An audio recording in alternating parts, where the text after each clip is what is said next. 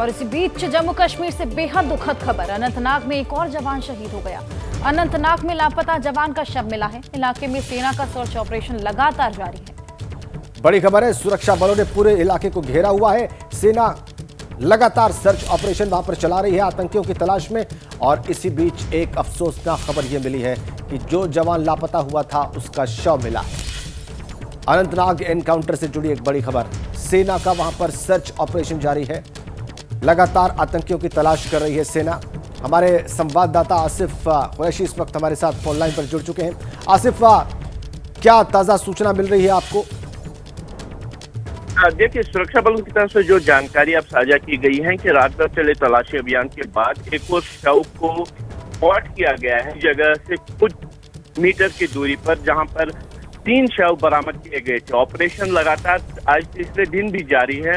आज सुबह तड़के से ही जब सर्च ऑपरेशन फिर से शुरू किया गया तो इस शव को स्पॉट किया गया, जिसके बाद अनंतनाग एनकाउंटर में शहीद होने वाले जवानों की तादाद चार हो गई है। पहले कर्नल, मेजर और डीएसपी रैंक के अधिकारी के बाद ये एक जवान की मृत्यु के बाद जो है आंकड़ा बढ़ के चार हो गया है और अभी भी मिलिटेंट के खिलाफ जो है ऑपरेशन जारी है। सुरक्षा तो बलों का ये कहना है कि दो मिलिटेंट अभी भी घेरे में हैं और संभावना है कि एक उसमें से मारा गया है लेकिन किसी भी मिलिटेंट का शव अभी तक बरामद नहीं हुआ है और लगातार आज तीसरे दिन ऑपरेशन शुरू कर दिया गया है।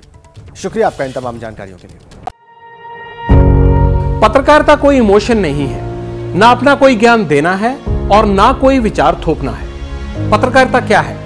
पत्रकारिता का मतलब है सही जानकारी इकट्ठा करना और तथ्य बताना। पत्रकारिता आज जितने महत्वपूर्ण दौर में है, शायद पहले नहीं थी। इस दौर से निकलने के लिए सिर्फ़ सच दिखाने की ज़रूरत है। वो सच जो आपके हित को आगे रखे। इसलिए अब रात नौ बजे प्राइम टाइम नहीं होगा। ये आपका टाइम। जगविंदर पटियाल के साथ देखिए। पब्लिक इंटरेस्ट सोमवार से शुक्रवार रात 9 बजे, सिर्फ़ एबीपी न्यूज़ पर। एबीपी न्यूज़ आपको रखे आगे।